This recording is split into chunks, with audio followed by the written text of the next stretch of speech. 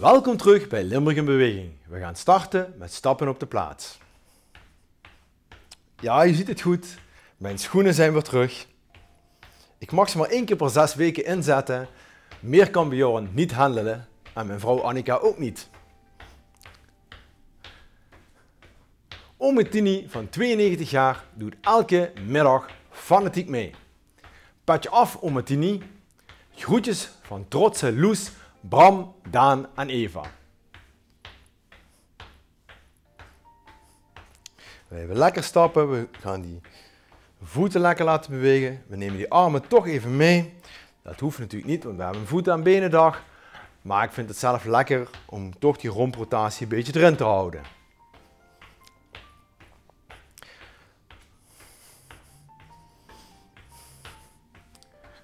We gaan nog eventjes door.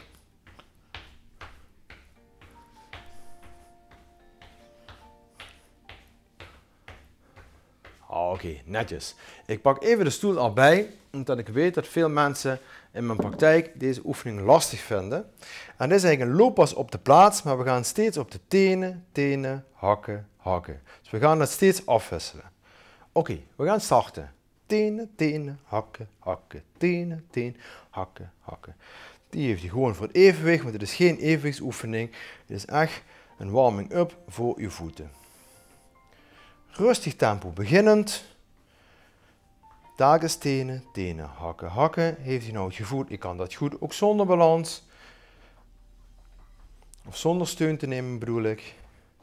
Dan ga je op deze manier hem uitvoeren. En dan merk je dat het best moeilijk is om netjes op de plaats te blijven. U ziet mij mooi netjes op de plaats staan. Maar dat komt omdat ik deze oefening vaker doe voor mijn patiënten. En dan gaan we een beetje tempo opvoeren. Tenen, tenen, hakken, hakken. Ja, probeer maar alsof je mij kunt bijhouden. Het spelletje speel ik ook altijd met mijn patiënten. Om te kijken of dat ook sneller kan.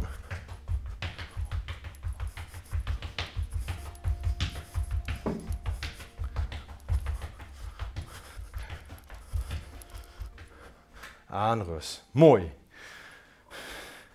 Foot loose. De voetjes los van de grond. Dat wordt vandaag het leuke dansje wat we gaan doen. Oké, we gaan starten.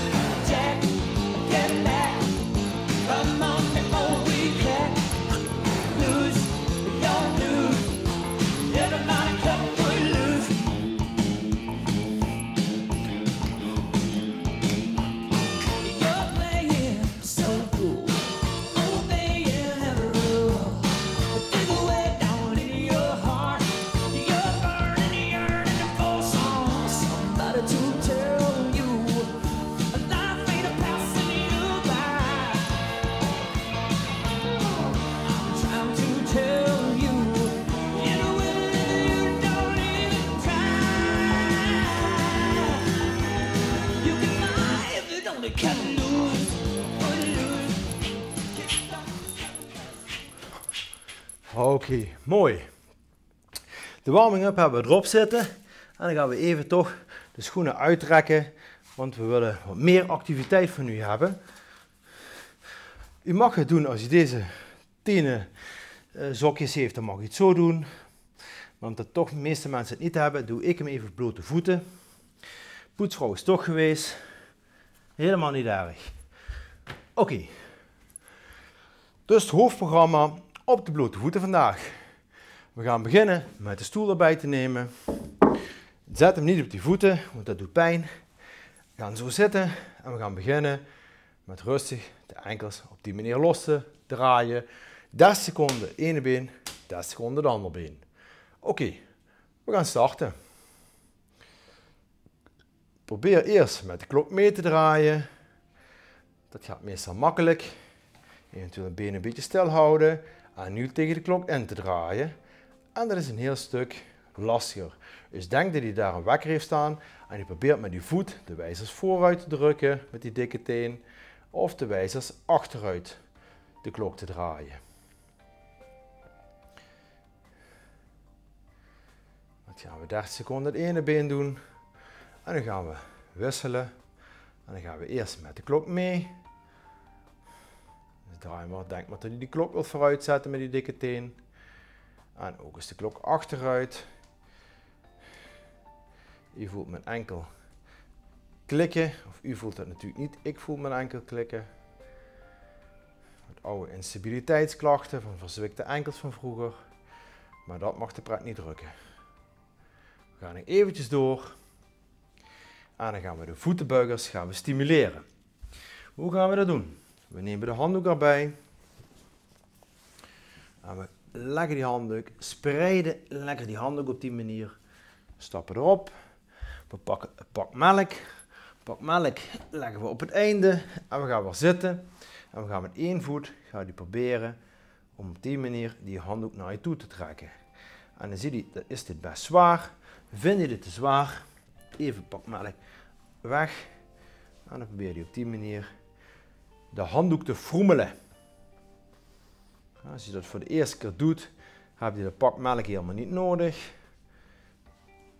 En dan trekken we hem weer eens een keertje tussendoor recht. En dan gaan we daar bij 30 seconden gaan we even wisselen. Dus je mag het doen met een pak melk, maar ik realiseer me ook dat het vrij zwaar is. En het ligt ook, ik heb boven een houten vloer, dan gaat het op de parket wat makkelijker. Hier op de grindvloer is dit al voldoende, omdat er veel weerstand is vanuit de grindvloer. Kunnen we wisselen? Oké, top.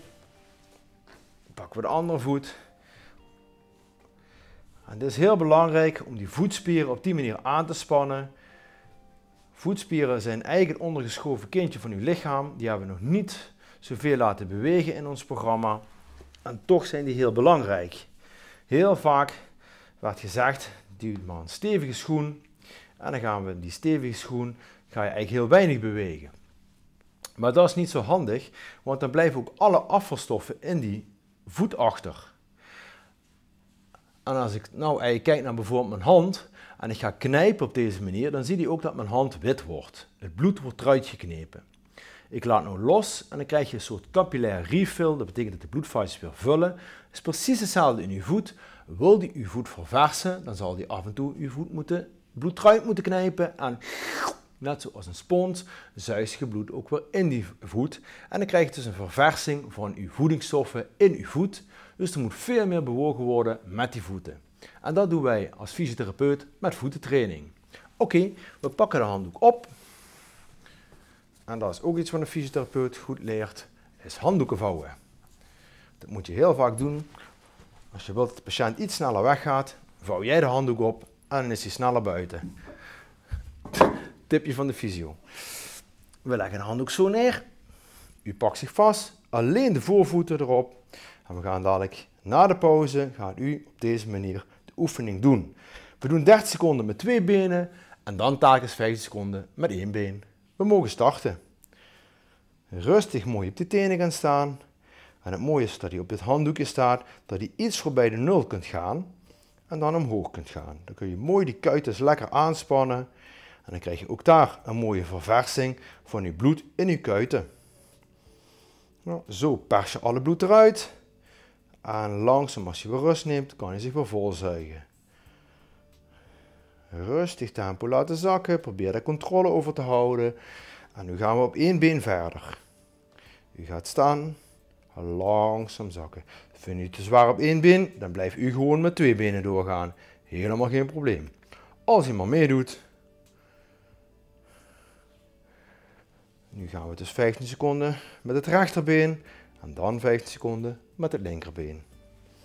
En dat voel je al behoorlijk. Morgen vroeg heb ik weer spierpijn, maar dat mag de praat niet drukken. De laatste keer. En rust. Mooi. Jullie hebben net de kuiten getraind en misschien heb je gemerkt dat als de kuiten moe zijn, dat ze beginnen te trillen.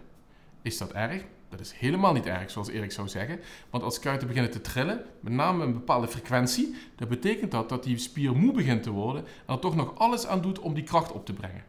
Je zult merken als je meer getraind bent, dat de kuiten dan steeds minder beginnen te trillen. Dus het is niet erg, kuiten mogen trillen. De volgende oefening. Daarvoor heb ik even een A4'tje nodig. Ik realiseer me dat jullie dat niet hebben, maar dat maakt helemaal niet uit. Het gaat zich puur om de oefening uit te leggen. Ik pak een A4'tje, ik zet mijn voet op het A4'tje, pak even een pen en nu ga ik op het basisgewricht van mijn dikke teen ga ik een streepje zetten en een streepje laat ik doorlopen op het blaadje. Wat ik nu ga doen, is eigenlijk mijn voet verkorten. En dan gaat hij 2-3 mm naar achter. En ik ontspan weer en dan gaat hij naar voren. En dat is wat ik u wil laten zien. Mijn tenen mogen eigenlijk niet hamerteentjes worden. Dus u mag niet dit gaan doen, niet buigen. Maar u verkort hem. Dus de tenen moeten lang blijven. Oké, na de uitleg gaan we beginnen. Ik hoop dat de cameraman dus goed inzoomt. Verkorten, 3-4 mm korter. En ontspannen. Verkorten. En los. En u ziet dat mijn lengtegewelf wordt mooi opgetrokken. En dat is een hele mooie om uw lengtegewelf te trainen. Uiteraard kunt u dit in stand doen. U kunt dit ook in zit doen, wat u wilt. Als u maar elke keer uw bal van uw voet laat staan, die mag niet omhoog. Veel gemaakte fout. En we gaan wisselen. A4'tje aan de andere kant. Pennetje weer erbij. Streepje erop. Streepje op, de, op het A4'tje. En dan gaan we weer. Het is goed is jullie dat mijn dikke teen op de vloer blijft. Moeilijke oefening om technisch uit te voeren. En ik denk dat u hem nog heel vaak moet oefenen thuis, voordat u hem kunt uitoefenen. Uitvoeren, sorry. Ik heb er ook lang over gedaan voordat ik hem kon. Nog twee keer. En de laatste keer. Top. Waar een A4'tje toch niet allemaal goed voor is. Oké, dan gaan we naar de balansoefeningen. U mag hem ook wel op deze manier drie dubbel vouwen. Dus 1, 2, heb je drie laagjes. En dan gaan we daar op staan. Op één been. En dan moet je vanzelf moet die voet gaan zoeken. En dat is een hele fijne oefening. Je ziet het ook in mijn peesjes. Die zie je af en toe aanspannen. Als dan nog een klein beetje beweegt, wordt het nog wat moeilijker. Voor de mensen die dit voldoende is, die pakken zelfs een vingertje erbij. Ik ben toch al een klein beetje getraind, want ik doe al heel wat weken Limburg in beweging mee. Dus ik kan daar nog wat extra's aan toevoegen. Maar ik kan me voorstellen dat voor veel mensen gewoon stilstaan al voldoende is. Maar wij hebben wat meer uitdaging nodig. En na 30 seconden gaan we wisselen. Maar die hebben we nog niet bereikt. Even volhouden. Je voelt dit ook wel flink in je kuit. Dus die kuitspier moet ook zorgen voor die balans. Oké, we gaan wisselen. Staan we op één been. Eerste balans. Kijk maar weer in de cameralens. En dan kun je mooi op die cameralens kun je op die steunvlak vergroten. En hoe groter je op die steunvlak is, hoe makkelijker het is om je balans te houden. Goed zo. Je hoeft dus ook niet helemaal stil te staan. Het is net de bedoeling bij balans houden dat je om dat balanspunt heen beweegt. Nou, denk je die ouderwetse weegschaal, die staat ook nooit helemaal stil. Die beweegt altijd zo'n klein beetje heen en weer. En ook al denk je dat hij stil staat, hij staat nooit echt helemaal stil. Mooi. Dan gaan we naar de volgende oefening. En de volgende oefeningen, ik ga eventjes zo naar de camera toe, is het tenen spreiden. En tenen spreiden gaan we proberen die tenen hier dat er lucht tussen zit. En dan ook wel natuurlijk tenen sluiten. En spreiden. En ik heb heel veel mensen, zeker als ze wat ouder zijn, die zeggen: Erik Jong, dat ken ik niet meer. Sluiten. Maar u kunt alles weer leren. En voor uw brein is het hartstikke goed om dat te trainen. We hebben nog even pauze. En dan ben ik benieuwd of jullie kunnen tenen spreiden. En ik zou graag van jullie een mailtje willen krijgen als het gelukt is. Want ik denk dat heel veel mensen dit een hele moeilijke oefening vinden. Oké, we gaan starten. Spreid de tenen maar. En je ziet bij mij, overal kan lucht tussendoor. Aan sluiten. Aan spreiden. Ik heb gisteravond nog geoefend. Aan sluiten. Langzaam tempo, want je, je maakt dat je brein zegt ik wil spreiden en je voet doet niks bij sommige mensen. Bij mij heb ik de link weer gevonden met mijn voeten. Hopelijk heeft mijn schoonvader hem ook weer gevonden, want die zei van ik heb geen relatie met mijn voeten. Hopelijk heeft hij weer een relatie met zijn voeten. Ha Peter. Oké, spreiden. En dan zie je ook dat daar een beetje kramp zit. Dat is helemaal niet erg. Ik zie, deze kan ik bijna niet meer sluiten. Moet je even ontspannen. En dan probeer je weer opnieuw. En dan gaat het wat beter. Gaan we sluiten. Je ziet, dit sluiten is voor mij moeilijk. Ik heb daar een probleempje, zie ik. Moest naar een therapeut gaan. Spreiden. Probeer ze niet te hoog te heffen en sluiten. Oké, netjes. Eventjes mijn voetjes ontspannen. Het is een vrij intensieve oefening. En die kleine spiertjes wat het moeten doen, zitten tussen uw middenvoetsbeentjes in. Hele kleine spiertjes die eigenlijk aan de steugeltjes aan het hoofd van een uh, paard eigenlijk naar links en naar rechts trekken. Heel simpel. Zo wordt eigenlijk die teen gestuurd. Nou, we gaan over naar de volgende oefening. En dat is lopen als het ware over een lijn. Dan hebben we de handdoek op deze manier. Juppekietje. Ik vouw nog een keertje dubbel. We draaien deze weer even om. Ja, dit is een hele verbouwing. En we gaan dadelijk in tandemstand, hakketeen, op die manier de balans zoeken. U mag ook meedoen. Ik hoop dat u klaar bent met vouwen of moeten we nog even wachten? Oké, ik zie, u bent klaar. Dan gaan we. Zoek de balans. Als het niet lukt, af en toe een klein vingertje, maar niet meer als een vinger. Dat, uh, je bent zo getraind, dat moet makkelijk kunnen. Ook de wat oudere mensen, we gaan 30 seconden met de ene been voor en dadelijk 30 seconden met het andere been. Pak maar een vast punt voor u en dan proberen we de balans zo te houden. En u maakt dat ik ook een beetje beweeg, dat is helemaal niet erg, dat hoort erbij. We gaan wisselen, ander been voor. Maakt niet uit welk been u voorhoudt als je maar wisselt. Dus niet thuis ruzie maken of het nou links of rechts voor moet, maakt helemaal niet uit als je maar wisselt.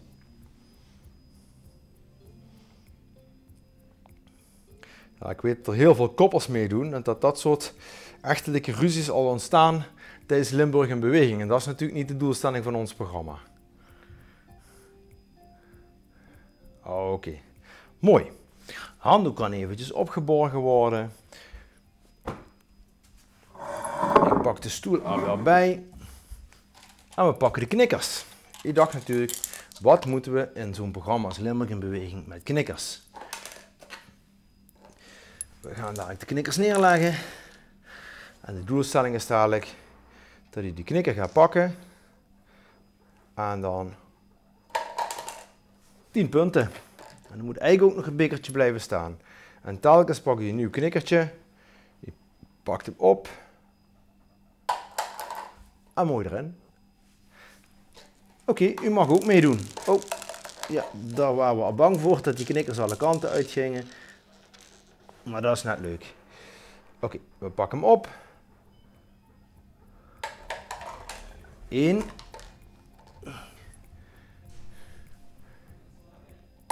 Twee.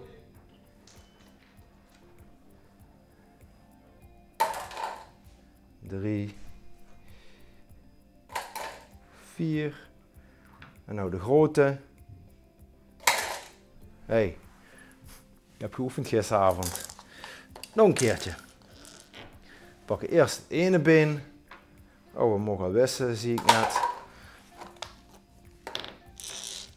Pakken het andere been. We beginnen even met de grote.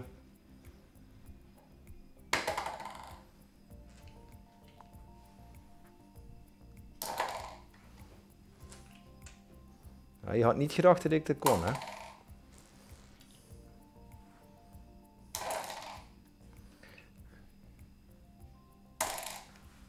Oké, netjes. Dat was de knikkeroefening. Dan gaan we naar een oefening, noemen ze enkeling, enkele. Ik weet ook niet waarom ze het zo noemen. Maar dit is een oefening waarbij we de stoel voor het evenwicht een beetje nodig hebben. We gaan daar een soort sprongetjes maken. En dat betekent eigenlijk dat we continu op die voorvoet blijven staan. U hoeft dus niet te hoog, maar elke keer als u omhoog komt, probeer je eigenlijk de tenen omhoog te trekken. En toch wel netjes te landen op je voorvoeten. Dus niet op de hakken, want dat dreunt door. En dat is zeker voor mensen met bodemkalking niet handig. Dus mensen die dit moeilijk vinden, even stappen op de plaats. We gaan beginnen. Op die voorvoet. En trek elke keer teen omhoog, teen omhoog, teen omhoog. Dan maken we een huppetje ertussen. Gaat het wat makkelijker. Teen omhoog.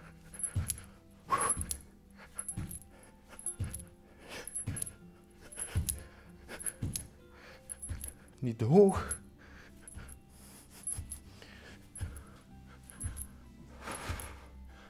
Krijg je nog warm van.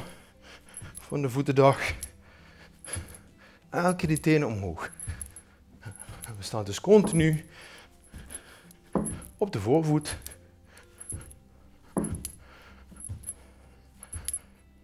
En we trekken elke keer als we omhoog komen, trekken we de tenen omhoog. En dat zie je ook aan de peesjes op mijn voet, de voorvoet. Zie je de peesjes aanspannen. Eigenlijk de spieren spannen aan, maar daardoor zie je dat de peesjes strak trekken. Oké, mooi. Waarom springen zonder je heup en je knieën te buigen zo moeilijk? Je moet dat zien als een meertrapsraket als je een sprong wil uitvoeren. Bij een meertrapsraket heb je verschillende delen van de raket die de raket omhoog stuwen en dan steeds weer afgestoten worden. En bij elkaar opgeteld zorgt dat voor een enorm, enorme stuwing van de raket de hoogte in. Zo is dat ook bij het lichaam. Die rotaties van die verschillende gewrichten, de heupen, de knieën en daarna de enkels, zorgen ervoor dat jouw lichaam naar boven komt. Schakel je de heup en de knie uit door ze niet te bewegen, dan moet alles uit die enkel komen en dan kom je gewoon niet zo hoog. Je hebt niet voldoende meertrapsraketten tot je beschikking. Gaan we even zitten. Ik ben toen nog buiten adem ge- gekomen. Een beetje op het puntje van de stoel. Doe de volgende oefening voor. U gaat dadelijk op die manier de voet heffen. Begint met de tenen, inzet vanuit de teen en dan de hele voet. Dat is natuurlijk een vrij makkelijke oefening. Rustig de voet erop plaatsen. Beetje weerstand geven, niet overdrijven. Het is de eerste keer dat je die oefening doet. Thuis zo gaan we hem dadelijk uitvoeren. 30 seconden dit been. 30 seconden het andere been. Oké. Eerst even heffen. De hak blijft staan. En dan gaan we. Beetje weerstand. Je kunt een beetje variëren. Wat meer weerstand. Of wat minder weerstand. Ja, u heeft uw eigen gewicht bij u. U maakt dat nou de dikke teen het hardste moet werken. Maar daar zit ook de dikke teen heffer. En dat is ook de grootste van alle jongens. Hier in de scheenbeen zitten die spieren. Eigenlijk lopen deze heffers met name zitten die in het onderbeen en lopen als kabels door, als pezen naar uw tenen. Vrij lange pezen heeft hij in die voet. Als je hier ziet, zie je die pees lopen, loopt helemaal door. En dan gaan we. Hoppa.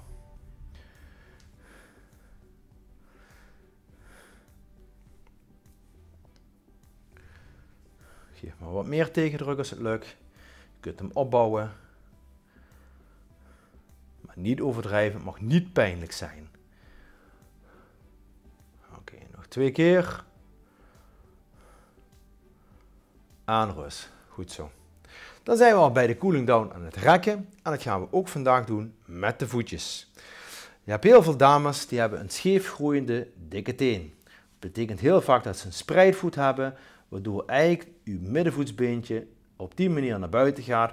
En omdat de pees van je voet eh, strekker hier vast zit, trekt hij als het ware die teen zo krom. Wat gaan we nu doen? We gaan hem recht trekken. Dus we pakken de voet zo vast. We pakken mooi kort langs uw dikke teen bij het basis van uw gewricht. Het gewrichtje zit hier. Gaan we een beetje naar buiten trekken. Met respect aan mensen. Het hoeft niet kapot. Vasthouden op die manier. En even los.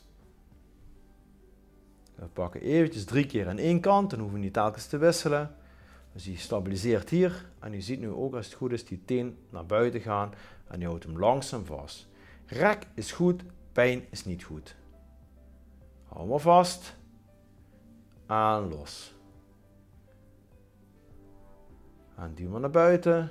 Vasthouden. 15 seconden. En los. En dan ga ik even draaien. En dan pakken we de teen op deze manier wel vast. Kort bij vastpakken. Zo zijwaarts buigen en vasthouden. En die stabiliseert dus met die andere hand. Zodat hij duidelijk ziet dat die teen van daar naar daar gaat. Nou, het kan zijn dat hij al flinke hardingsvalkens heeft, een scheefgroeiende dikke teen. Dan moet je dat met respect doen. Maar dit is een geweldige oefening waarbij je je teen toch weer recht kunt krijgen na verloop van tijd. Nog één keertje. Hou de rek erop. Hou maar vast. Hou maar vast.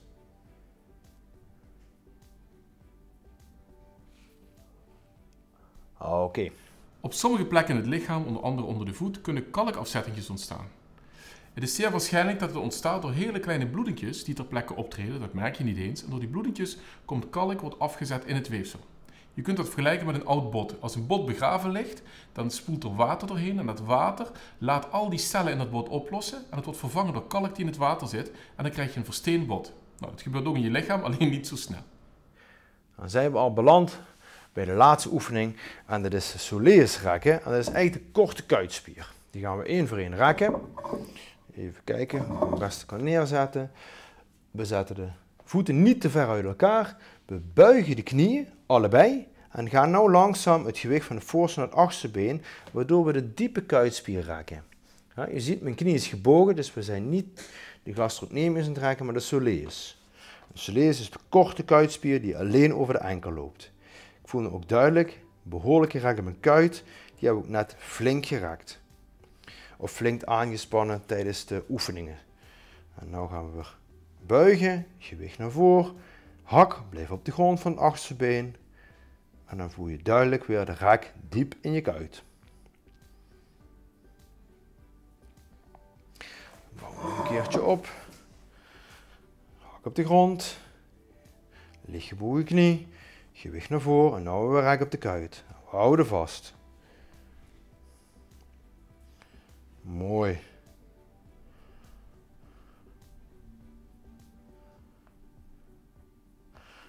We wisselen. Hak op de grond. Gebogen knieën. Gewicht naar voren. Het is technisch altijd een beetje moeilijker uit te voeren. Super. Nou, ik ben heel tevreden over deze voetendag. Ik hoop jullie ook. Dit is het einde van de voetentraining. Wat hebben jullie de volgende keer nodig? De stoel en de flesjes. Maak spas, blijf fit. Tot morgen.